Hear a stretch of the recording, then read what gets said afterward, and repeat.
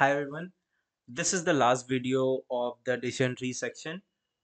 In this video, we are going to look into the advantages and the disadvantages of decision tree. Compared to the advantages, there are very few disadvantages, but let's evaluate each one of them. First of all, decision tree provides a very much clear cut visualization. The algorithm is very simple to understand, interpret, and if you want to visualize we can easily visualize. We can read out the decision nodes. Once we one uh, once we jump into the lab section we are going to look into some of the ways by which we can just visualize our decision tree. Output of the decision tree can be easily interpreted by humans.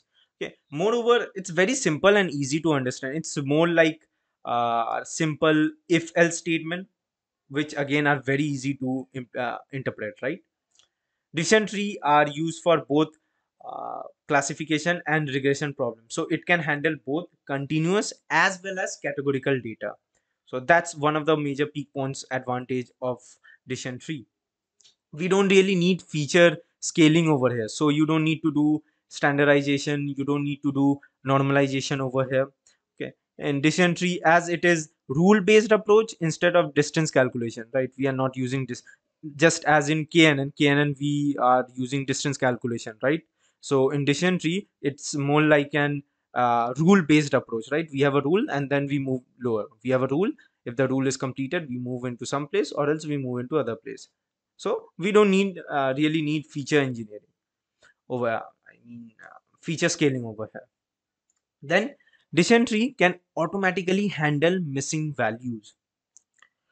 Decision tree is also robust to outliers and can handle it very efficiently right?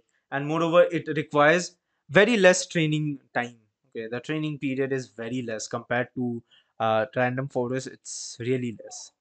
Now we have seen so many advantages of decision tree let's look into some of the major disadvantages too. The first ever and the most important disadvantage of our decision tree is overfitting the main problem of decision tree is in a in a nutshell it's overfitting right? Uh, we have already discussed about what we mean by overfitting and we have uh, looked into how it can ultimately lead to wrong prediction. In order to fit even fit data even the noisy data it keeps generating new nodes which will actually let us to overfitting at that. Okay. Uh, moreover if there's overfitting obviously we have high variance okay it leads to high variance also. It becomes very unstable. Adding a new, new data node can lead to regeneration of the overall tree.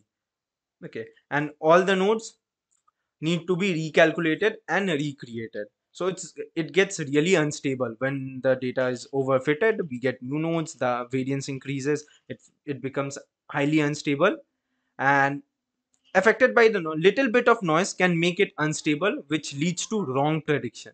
Okay.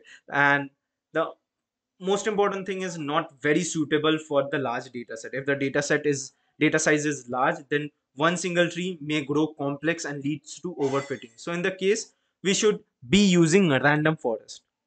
So that's about the disadvantages of decision tree. Let's implement everything that we have studied about decision tree into hands-on uh, practice that is in our lab section. We are going to take our data set and implement our first ever decision tree classifier and then we are going to move into random forest. Okay so let's jump into our lab section